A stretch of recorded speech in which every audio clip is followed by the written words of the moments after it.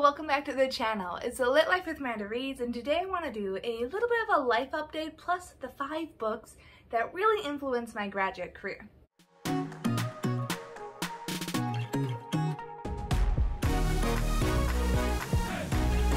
something I've mentioned a little bit on my channel is that I'm a graduate student. Specifically, I am going for my PhD in biophysics and I'm hoping to graduate sometime in the summer, pandemic willing. And I think to begin this influential book, we have to go back a bit. Specifically, the fall of 2014, I was finishing up my bachelor's degree in biochemistry and I was starting to apply for graduate school. And I just remember feeling like these intense waves of anxiety of like, am I really doing this? Should I do this? What is science like outside of a classroom? And I remember reading a handful of books that really helped push me to applying for graduate school. And there was one in particular that I is just like seared in my memory. And when I say the title, I feel like you're gonna understand why. It is Stiff. The Curious Lives of Human Cadavers by Mary Roach. This book literally just chronicles the author as she tries to find out what happens to the body after the occupant has passed. It was disgusting and I loved it. Lots of scientific studies on decomposition, there's autopsy how-tos, there's anatomy classes, there's just so many things that bodies can do once you're not inside them anymore once you get over like kind of like the shock value of this, you realize that Mary Roach has this like super approachable way of writing it. And then also she like is really funny about such a serious and grisly topic. And it actually ended up kindling my excitement for field research and the specific techniques that you use to study things that people just don't know about yet. I ultimately applied for degrees, not in the forensics field because I've seen way too many horror movies. I don't think I can actually handle working with bodies. However, the wide-eyed curiosity of Mary Roach and then just the excitement she had about the science and learning about the secret techniques used to discover these things, it just excited me and it kind of helped influence and push me to applying for my PhD. After I graduated with my degree in biochemistry, the next big step was to actually go to grad school. Coming up on fall of 2015, I had officially joined my university and then I had the big three things to complete academics, choosing a lab, and beginning your thesis project. For academics, you take a handful of really highly advanced classes closely related to your major, and then do your best to pass. Note I say pass, not ace. All throughout high school and undergrad, I had this mentality that I had to be the best. I had to get the best grades, I had to get straight A's, which I pretty much succeeded. I think I got like one or two ABs in college, a lot of my time and energy was focused on getting the best grades possible. However, when you're in graduate school, they only care that at the end of your PhD that you have a PhD. While this was something that was explained to me over and over and over, it took me like about a year to for it really to sink in. And I remember reading a book that kind of helped me get through this, a couple of books actually. And these are Bill Bryson's uh, Short History of Nearly Everything and At Home, I think the second one is called. But essentially, A Short History of Nearly Everything, Bill Bryson breaks down the entire history of the universe in just over 500 pages. And he goes from the Big Bang all the way to the end of the universe. And then at home, he takes every single thing that you have in your home, like your walls, your doors, your windows, your cutlery, the spices on your table, and then also talks about the origin. I feel like these books ended up helping me a lot for graduate school because it taught me that I needed to take a step back and look at the picture on a whole. Does it matter that I get straight A's in every single class? No. What's actually more important than the classes is your lab and your research. So a lab will have a professor that leads it, a few graduate students, maybe a postdoc, so someone who already has their PhD and is working in the lab, as well as a few undergraduates who also work in the lab. And as a graduate student, you're gonna spend most of your time in your lab, completing your own research projects, working on someone else's research project, and learning new techniques. And that's actually where the core of the knowledge from a PhD comes from. It's that firsthand experience, learning how to think through problems and discovering new things. So before you commit the next four to seven years of your life to a lab, you will typically rotate. And rotate just means that you try out a lab for about three to five weeks, depending on your program, and then you try another one, and then normally a third one. And after you pick your lab, you start setting up your thesis project. For me, I study chaperone proteins and how they affect protein folding. More on that later.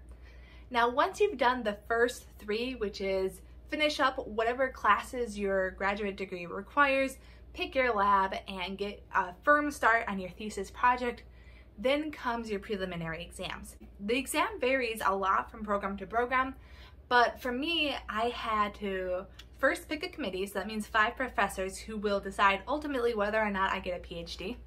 And then from there, I had a five question take home exam, which doesn't sound bad until you realize each question had parts A through E. I think my final response was close to like 25 to 30 pages, single space by the way. So it was it was wild.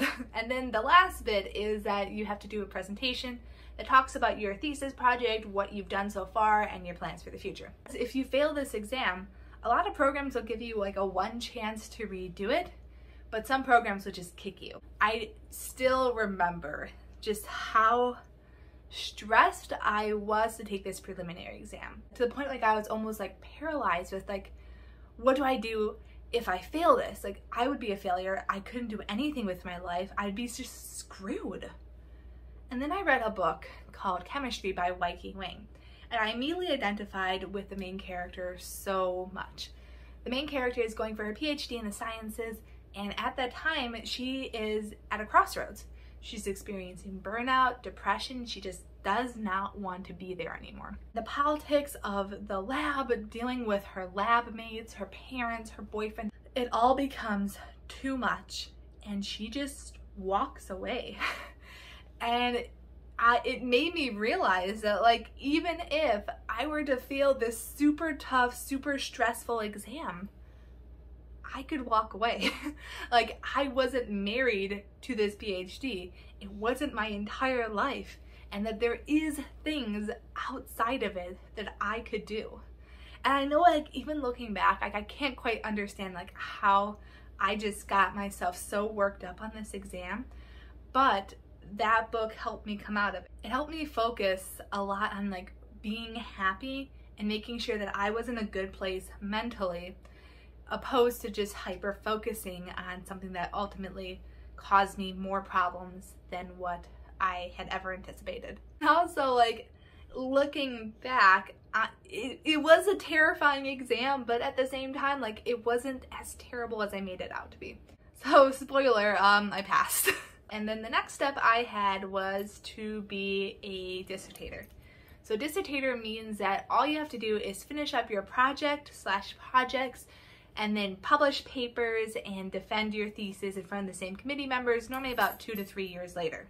And if you're ever, if you're curious, for my research, I study proteins.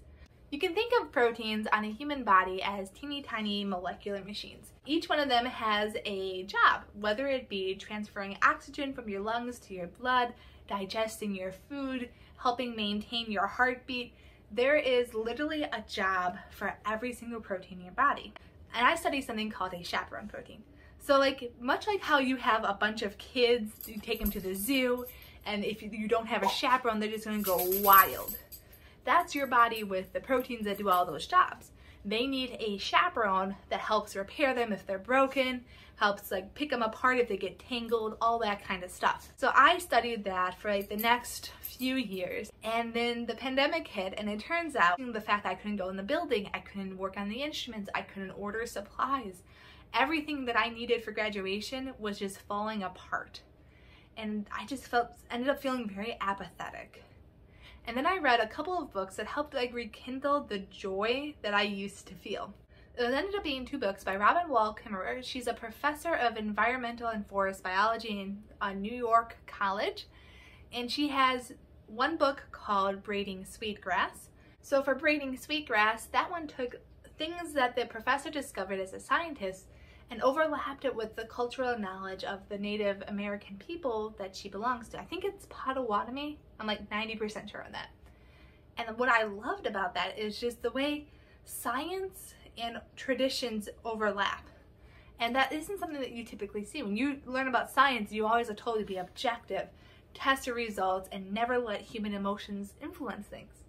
And in her book, she has a lot of that influence. And to me, that was really cool to see a more human side of science. And then her other book, Gathering Moss, takes a peek at like the tiniest, tiniest plants in our existence and talks all about just the really cool facts about them, which is like, how do they gather water? Why are there so many patterns? How many types are there? How can you grow moss? I know it sounds weird and I know it sounds like a little bit out there, but I loved it. So after I read those books, I started to think about, okay, so what can I do? I mean, I can't, obviously I still can't get into the lab with any sort of regularity and I have to think of something that I can pivot my project to so that way I am still learning and still contributing and I still will have a degree at the end of the day. And what I came up with was simulations. So instead of doing these experiments hands-on, I was going to use a computer program and simulate what would happen when my chaperone protein goes through different scenarios and how would it interact with the little proteins like the molecular machines I was talking about. So now I'm at the tail end of this simulation project. So it's all brand new stuff, all brand new techniques. I feel like I've mastered it pretty well and I've got some pretty interesting results which I'm excited about. Now all I have to do is write it up as my first author paper, submit that, and then also write up my thesis. So I'm looking at a graduation of possibly two to three months. It kind of depends on how long it takes to write things up and make things look pretty but I'm really excited about that. And as a treat to myself, I decided to reread one of my absolute favorite books. And this is a science book, but it's also not like a scientist, well, a little bit of a scientist. And in this one, we follow Kya. She was pretty much abandoned in the marsh as a young child. She learns to work with the nature for survival. And you just see this complete and utter love of science. And it's not always just referred to as science, it's just her love of nature in general.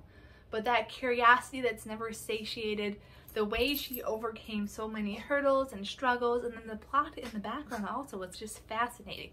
This is one of my favorite books and definitely one that I, when I want to like kind of rekindle that drive, I will read that book because Kya is just such a strong character and I want to channel her in my own life.